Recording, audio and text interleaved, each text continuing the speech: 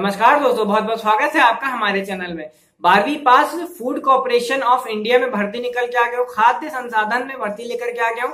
Twelfth pass यहाँ पे आपको फॉर्म भरा जाना है। तो दोस्तों, यहाँ पे ट्वेल्थ पास फ़ूड कॉर्पोरेशन में भर्ती निकली है 2018 ठीक है? तो इसके बारे में इस वीडियो में बात करेंगे। तो मेरा नाम है शाश्वत और आप देख रहे हैं चलिए शुरू करते हैं आज का हमारा ये वीडियो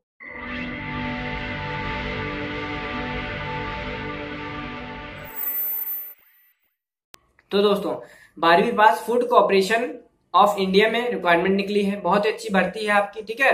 यहाँ पे खाद्य संसाधन में भर्ती निकली है ऑल इंडिया ऑल इंडिया से आपको फॉर्म भरा जाना है दोस्तों। फॉर्म आपको ऑल इंडिया से भरा जाना है। तो बात करते हैं इसी के बारे में। तो सबसे पहली बात है यहाँ पे name of organisation name of organisation है आपकी food corporation of India food corporation of India name of organisation है आपकी। सेकंड है टोटल पोस्ट टोटल पोस्ट यहाँ पे दोस्तों निकली, ज़्यादा नहीं निकली, केवल तीन पोस्ट निकली है यहाँ पे, केवल तीन पद खाली है इस रिक्वायरमेंट में, ठीक है? केवल तीन पदों पर आपकी भर्ती होनी तो ये तीन कौन किस्मत वाले हैं, जिनकी इसमें नौकरी लग सकती है, वो आपकी मेरिट के आधार पर तय होगा, ठीक है? तो अब यहाँ पे बात करते हैं टोटल पोस्ट की। तो टोटल पोस्ट यहाँ पे है दोस्तों, तीन पद तीन पद खाली हैं इस रिक्वायरमेंट में, ठीक है? फिर पोस्ट नेम की बात करते हैं तो असिस्टेंट ग्रेड थर्ड की नौकरी निकली है, ठीक है? ज़्यादा जानकारी के लिए नोटिफिकेशन हमारा दिया गया उसमें आप देख सकते हो। पोस्ट नेम है आपका असिस्टेंट ग्रेड थर्ड, ठीक है?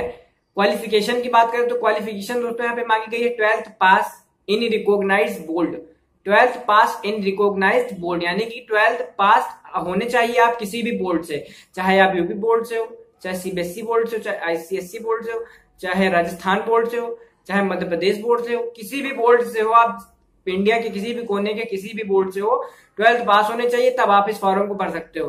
पहली क्वालिफिकेशन फिर दूसरी क्वालिफिकेशन आपकी ग्रेजुएशन होनी चाहिए आपके पास। ग्रेजुएशन स्पोर्ट्स नॉलेज में ग्रेजुएशन होनी चाहिए।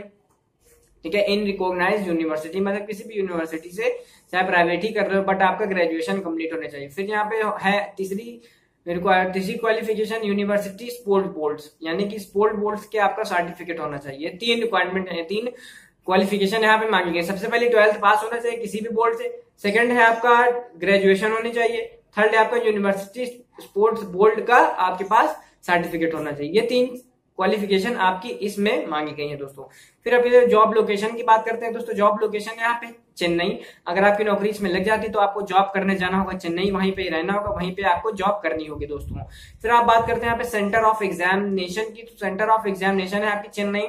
आपको इसमें तीन चार एग्ज़ाम होंगे, वो सब आपको जाना होगा चेन्नई में करवाने। ठीक है? अगर आपका नाम आ जाता है इसमें तो आपको चेन्नई जाना होगा। पूरी प्रोसेस कंप्लीट कराने के लिए दोस्तों। यहाँ पे सेंटर ऑफ़ एग्ज़ाम है आपका चेन्नई। एंड यहाँ पे जॉब लोकेशन भी है आपकी चेन्नई ठीक है? आपको वहीं पर रह के इस जॉब को पूरा करना है जॉब करनी है ठीक है दोस्तों? अब यहाँ पे बात करते हैं यहाँ पे एज की। तो एज दोस्तों यहाँ पे मांगे गए अठारह वर्ष से सत्ताईस वर्ष के बीच में। ठीक है? अट्ठारह वर्ष से सत्ताईस वर्ष के बीच में यहाँ पे एज मांगी गई ना अट्ठारह से सत्रह मांगी गई ना सत्ताईस से अट्ठाईस मांगी गई है। अट्ठारह से सत्ताईस मांगी गई। अगर आप अट्ठारह से सत्ताईस वर्ष के बीच में हो, तभी आप इस फॉर्म को कंप्लीट भर सकते हो दोस्तों। अब यहाँ पे बात करते हैं फॉर्म आपको कैसे भरा जाना एप्लीकेशन मोड क्या है तो दोस्तों एप्लीकेशन मोड है आपका ऑफलाइन ऑफलाइन एप्लीकेशन मोड अभी आपको वीडियो के एंड में बताता हूँ कैसे कैसे आपका फॉर्म भरा जाना है।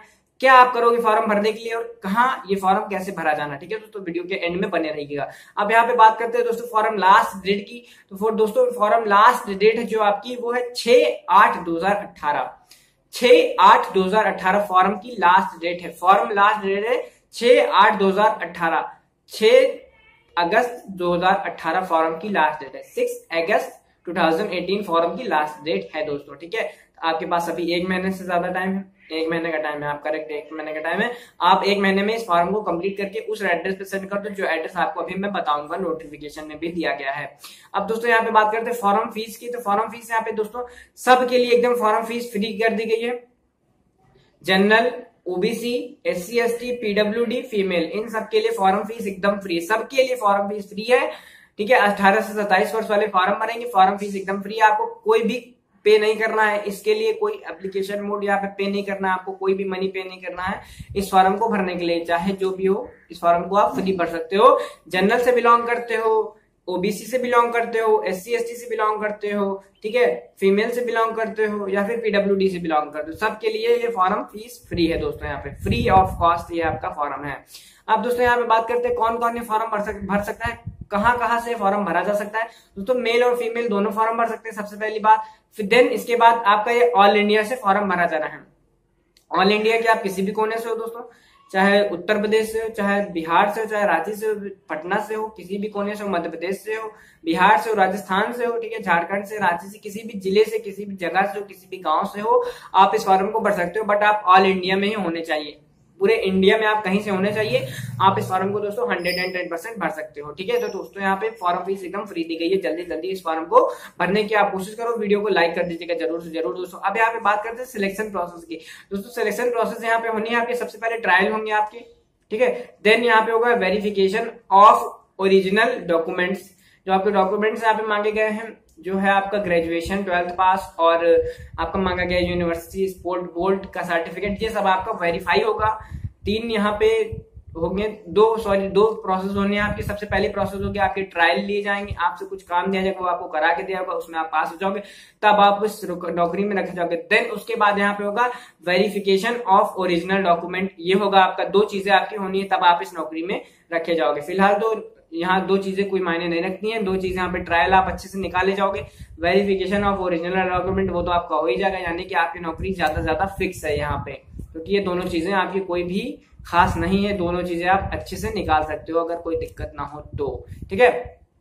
तो यही है दोस्तों सिलेक्शन प्रोसेस यहाँ पे trial and verification of original document ये दोनों चीज़ें आपकी होनी है। अब दोस्तों, यहाँ पे बात करते हैं सैलरी की। तो सैलरी दोस्तों, यहाँ पे दी गई बाईस हज़ार नौ सौ चालीस रुपए तक की सैलरी आपको यहाँ दी जाएगी। फिर यहाँ पे प्लस में दिया गया है, यानी कि बाईस हज़ार नौ सौ चालीस रुपए से प्लस में सैलरी दी जाएगी। यानी कि आने वाले समय में अगर अगर आप नौकरी में बने रहते हो तो आपको सैलरी प्लस करके भी दी जा सकती है दोस्तों। तो यही तो कुछ इस जॉब के क्वालिफिकेशन यही थे कुछ डॉक्यूमेंट जो आपको मैंने बताया। अब दोस्तों, यहाँ पे बात करते हैं आप फॉर्म कैसे भरोगे। यही तो कुछ जानकारियाँ जो मैंने आपको बता दी इस जॉब के बारे में तो अब आप अच्छे से सुनते रहेगा आप इस फॉर्म को कैसे भरोगे दोस्तों? सबसे पहले आप हमारे वीडियो के टाइटल पे टाइप करोगे तो दोस्तों डिस्क्रिप्शन ओपन हो जाएगा। डिस्क्रिप्शन ओपन होने के बाद में उसी जस्ट नीचे नोटिफिकेशन दिया होगा। उसी की जस्ट नीचे नोटिफिकेशन के जस्ट नीचे अप्लाई ऑफलाइन फॉर्म दिया होगा। वो दोनों चीज़ें आप डाउनलोड कर लोगे दोस्तों। दोनों चीज़ें क्यों डाउनलोड कर लोगे नोटिफिकेशन तो आपको पढ़ने के लिए होगा कि क्या क्या मांगा गया क्या क्या नहीं मांगा गया, क्या एड्रेस पे आपको फॉर्म भरना है, वो चीज़ हो गई। और नोटिफिकेशन में इधर साइड फॉर्म का पन्ना अटैच होगा। वो भी इंपॉर्टेंट है। वो आप अपने किसी नजदीकी जनसेवा केंद्र फ़ोटो कॉपी द्वारा निकला लेना और फिर उसी की जस्ट नीचे ऑफलाइन फॉर्म दिया गया।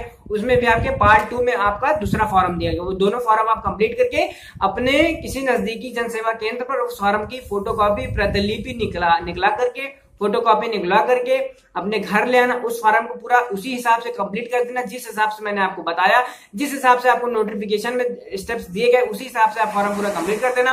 और दोस्तों, उस एड्रेस पे उस फॉर्म को कंप्लीट करके भेज देना, जिस एड्रेस को हमारे नोटिफिकेशन में सबसे ऊपर साइड में दिया गया, वहाँ पे लिखा होगा एड्रेस ठीक है? उस एड्रेस पे आप स्पीड पोस्ट कर देना, एक लिफाफे में बंद करके डाक टिकट लगा करके, उस एड्रेस पे आप इस फॉर्म को कंप्लीट करके भेज देना सात सॉरी छह तारीख से पहले, छह अगस्त दो हज़ार अठारह से पहले, यानी कि बहुत पहले ही भेज दो आप, फ़िलहाल मैं आपको लास्ट डेट बता रहा हूँ यहाँ पे, क्योंकि आपका फॉर्म जितनी जल्दी पहुँच जाएगा, आपके उतने ही चांसेस होंगे इस रिक्वायरमेंट में आने के लिए दोस्तों। तो फ़िलहाल यही तो कुछ मेरी जानकारी है जॉब को लेकर के। अगर आपको उम्मीद है इस वीडियो को पसंद आएगा तो वीडियो को लाइक करना बिल्कुल भी मत भूलिएगा और शेयर कर दीजिए ज़्यादा से ज़्यादा इस वीडियो को अपने व्हाट्सएप फेसबुक इंस्टाग्राम ट्विटर के ज़रिए दोस्तों। तो फ़िलहाल इस वीडियो में इतना ही।